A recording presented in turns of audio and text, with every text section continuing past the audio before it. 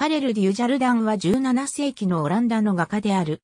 オランダ、イタリアで活動し、肖像画や宗教を題材にした作品も描いたが、主にイタリアの農民や家畜のいる風景を描いた。アムステルダムに生まれた。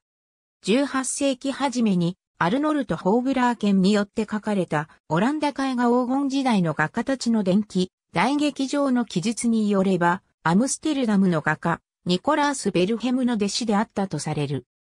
1646年から1652年の間にイタリアに滞在したされ、1648年、または1649年頃、借金から逃れるために、リヨンに移り、借金を肩代わりしてくれた女性と結婚したという話が残っているが、信頼性は低いとされる。フランスで結婚した後、1650年にアムステルダムに戻り、1655年にはデンハーグの画家の組合、コンフラリー・ピクチャラのメンバーになって、ハーグで働いた。1658年か1659年にアムステルダムに戻った。